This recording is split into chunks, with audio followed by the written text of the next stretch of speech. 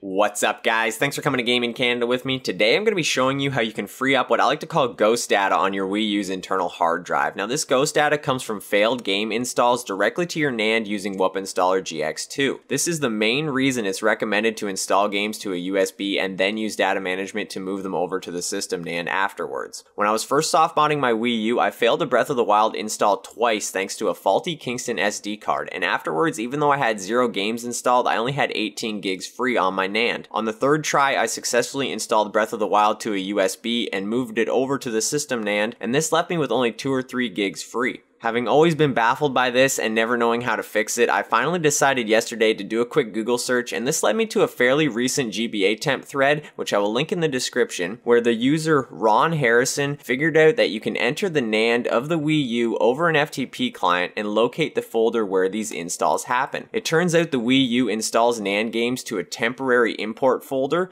and then moves them into the proper location after the install is successful. If the install fails, this temp folder gets clogged up with partial game game data, and when you enter data management, you won't see any games installed, but you'll have no free space. The Wii U might even ask you to delete this data upon entering data management, and if you choose yes, you might have to hard reset your Wii U as it infinite loops since it can't locate the data and delete it. If you're in a similar situation where you think you should have a lot more data on your Wii U system NAND, then I'm to show you how you can locate and delete these failed installs. The only thing is be freaking careful. This program we're about to use has the ability to easily brick your Wii U and you will never be able to recover it, so I highly recommend not doing this. This is for advanced users only. If you just happen to delete the wrong folder, your Wii U may never turn on again. And with that massive mouthful, let's get this started.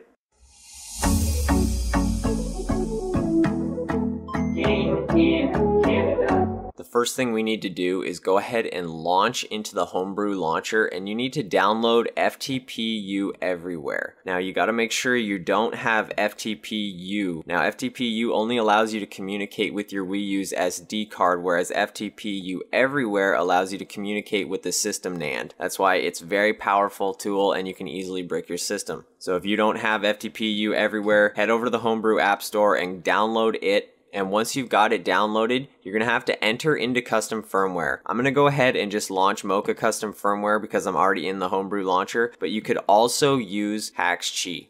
After you've loaded into custom firmware, go ahead and launch the homebrew launcher again. Now that you're back in the homebrew launcher, go ahead and launch FtpiiU everywhere.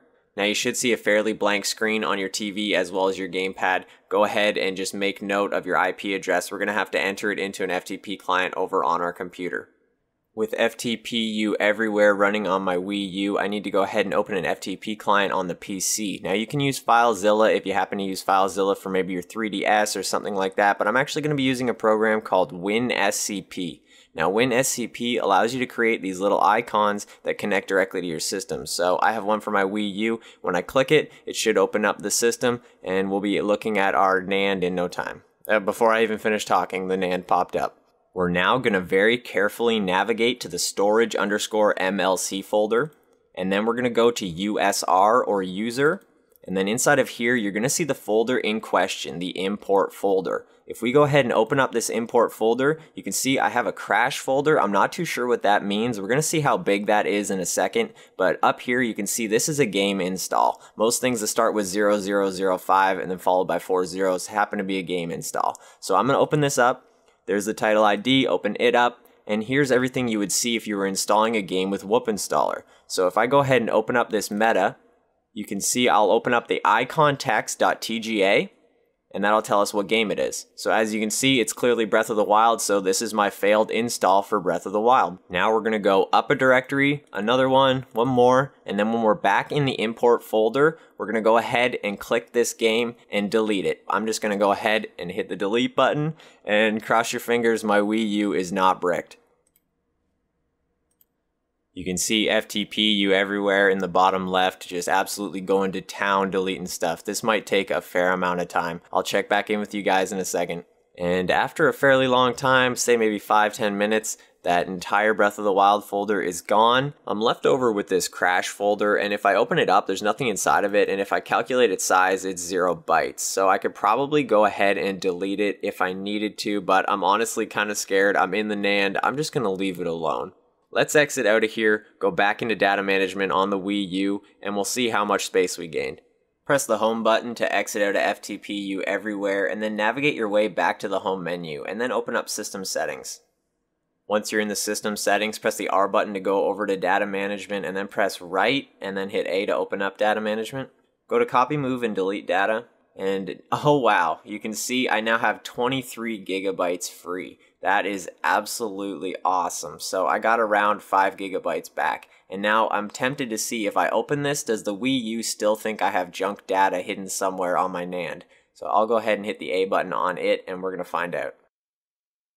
And as you can see, it loaded right into the games. It no longer had that warning about the junk data. So I have 100% fixed the problem. I am so freaking stoked. Thank you so much to Ron Harrison from GBAtemp. If he didn't make that thread, I would have never figured out how to do this.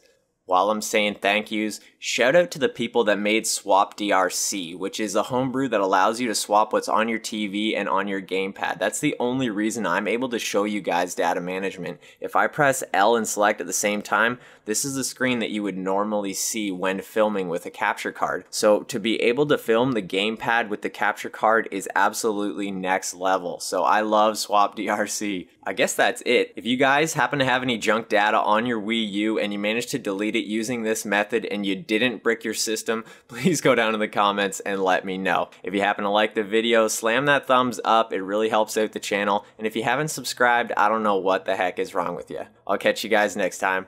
Peace.